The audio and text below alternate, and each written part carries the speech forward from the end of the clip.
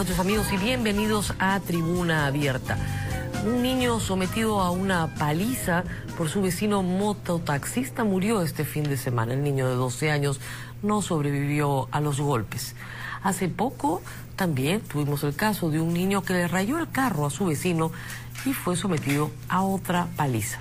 Los agresores en los dos casos están libres. Esta noche vamos a hablar de la tolerancia que tenemos como sociedad cuando se golpea a niños en nuestro país y lo poco que fiscales y jueces están haciendo para detener lo que es ya una práctica común. Pero antes vamos a la política. Hoy el presidente de Ecuador y el presidente del Perú se reunieron en Chiclayo. Se produjo lo que se anticipó, el eh, gabinete binacional que ha tratado una serie de temas importantes. El encuentro ha sido muy animado, muy alegre, muy espontáneo. El presidente Humala condujo su propia camioneta, se llevó al presidente Correa de paseo. La cosa funcionó estupendamente bien. Por lo menos eso es lo que hemos visto durante el día. Eh, como sabemos, el presidente Correa usa una vestimenta especialmente diseñada para él.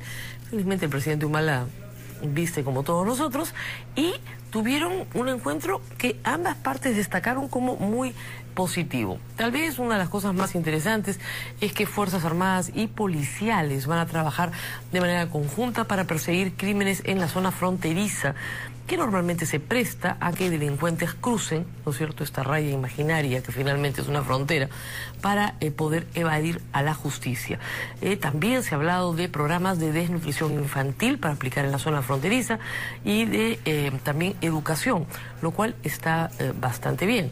Trata de personas, tráfico de personas, en fin, todos los eh, problemas que genera manejar una zona donde las personas van de un lado al otro sin importar finalmente dónde nacieron y de dónde portan un documento. Esto está muy bien, mejora la situación ciudadana de miles de peruanos que viven en el norte de nuestro país. Pero ha habido más. Vamos a escuchar palabras del presidente Ollanta Humala, que dicho sea de paso también estuvo en el CENEPA cuando le correspondió estar, eh, sobre la relación con el Ecuador. Escuchemos.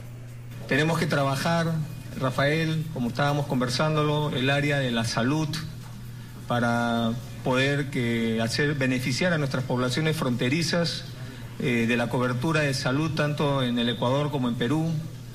Trabajar el tema comercial, profundizar el tema comercial y saludar que hoy día tengamos una, un comercio, una balanza comercial eh, bastante elevada eh, de lo que era la década pasada. Hoy día superamos los 2.600 millones de dólares y debemos seguir yendo para adelante.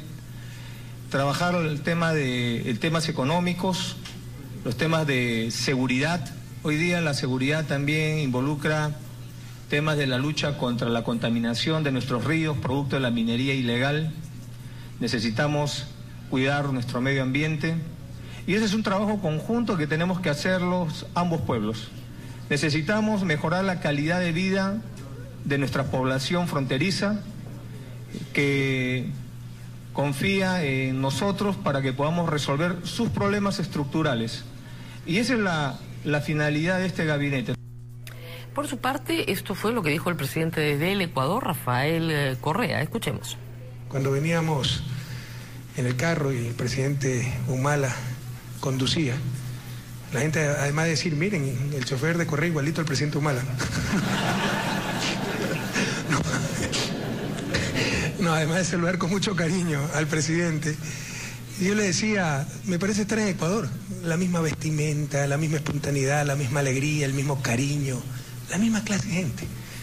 Somos los mismos compañeros.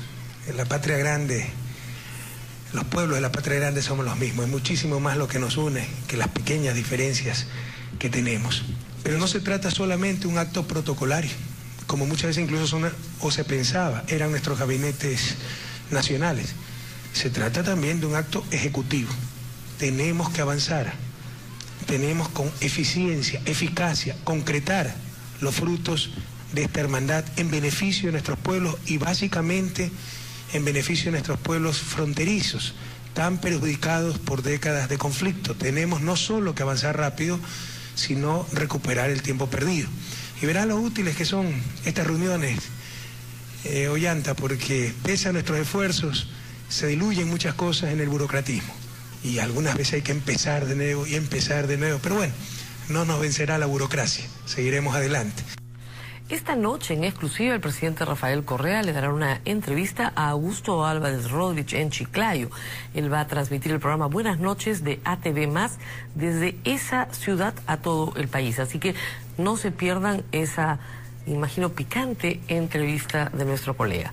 Y vamos a ver qué dijo el primer ministro, Óscar Valdés, que estuvo ahí ¿eh? y habló. Un balance sobre la reunión con el gabinete ecuatoriano. Bueno, lo más importante aquí que he resaltado es la evaluación que hemos hecho eh, de los cinco ejes temáticos, ¿no? El tema de la conectividad, el, tema referido a, la agenda social, el tema de la producción, el tema de defensa.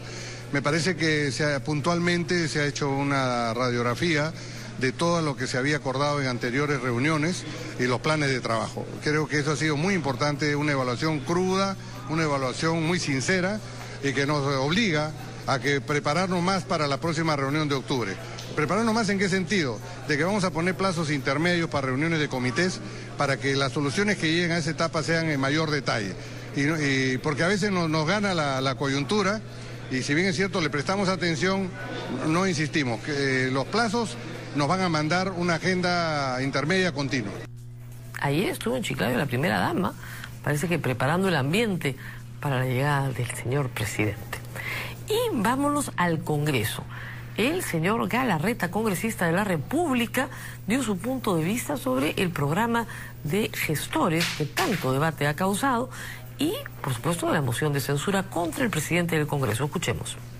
Lo que queda claro para, para el PPC Alianza Poder en Cambio es nosotros lo que hemos aprobado es darle luz verde a la moción para debatirla. No hemos dicho que vamos a censurar a Daniela Guatas, porque creo que tampoco es el objetivo censurar a Daniela Guatas como presidente del Congreso. Además, te soy muy sincero, no se censuró a Alba Castro y a Sumaeta que además tenían bastante para ser censurados. En los, dos, últimos presidentes del Congreso, la verdad fue, fue un espanto del Partido Aprista, y eso, eso sí le doy la razón a, creo que Otaro Alese que ha comentado eso. Pero bueno, pues no se censuró, pero eso tampoco quiere decir que como no se censuró, ahora habiendo hechos que sí ameritan una explicación en el Pleno, nosotros digamos, ah, bueno, como no se hizo antes, no lo, no lo podemos hacer ahora. Lo que está claro es que no lo van a censurar. El PPC no va a censurar al señor Aguatazo, eso está clarísimo.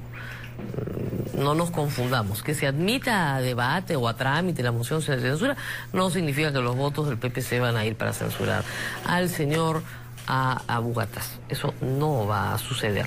Lo que va a suceder es que le van a pedir que deje sin efecto este programa, que es bastante disparatado, aunque él diga lo contrario, y que eh, finalmente busque otras formas de recoger información de la población.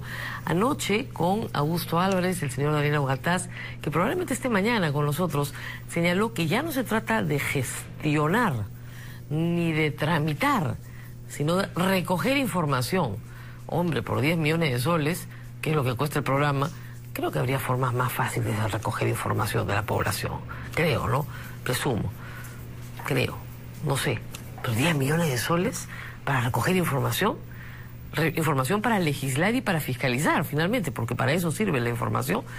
Creo que habría una forma más fácil de educar al congresista sobre los problemas de su tierra que ponerle un gestor al lado para que recoja los problemas de la población. En fin, se suspenderá este proyecto, esperemos, y eh, finalmente todo volverá a la normalidad. El señor eh, dará las explicaciones del caso y nadie lo va a censurar, por supuesto, no tiene los votos para hacerlo.